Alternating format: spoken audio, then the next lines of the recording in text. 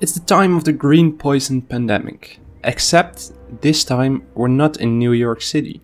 We're in Washington DC.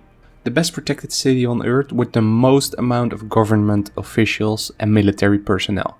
At the time, critical personnel are evacuated to underground bunkers, but the virus wasn't to be stopped. 27 days after the first patient got sick, Washington fell. It started with riots on K Street, after which there were shooting in the National Mall, and Washington was abandoned by its government.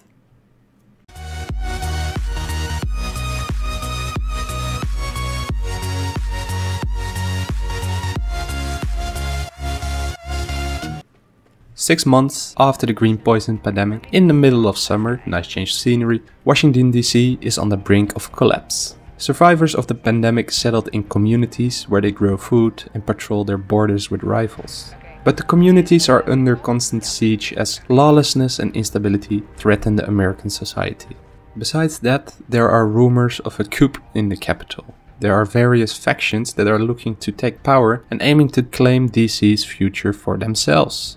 One of those factions are called the True Sons. It's a group of paramilitary warlords bent on using their combat expertise and overwhelming firepower to dominate their enemies and expand their territory. They are led by a former JTF officer whose ruthlessness and combat prowess make him and his combatants a scary opponent.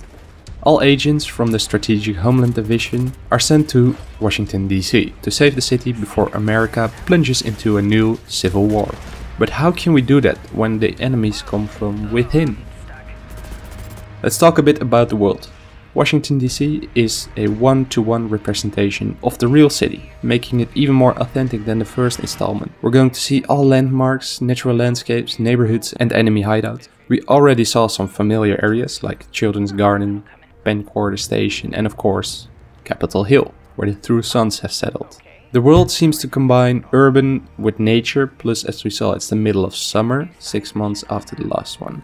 One thing I want to mention, though it looked like a forest, the greenery at the start of the gameplay footage was in a botanical garden, not in a forest in any way. So it might be that it's mostly urban with a little bit of nature in between. Even though we only scratched the surface, it looked like an immersive world with animals, communities of people and enemy factions to oppose you. There is too much to talk about, like weapons, gear, skills, the stats, enemy factions, a new HUD, 8 player raids and much much more. You better be sure we're going to cover all that, but we want to wait until Ubisoft has shown us everything they have during their E3 2018 press conference tonight. One thing is for sure, I'm super excited and in a few hours they will reveal even more information and gameplay on The Division 2.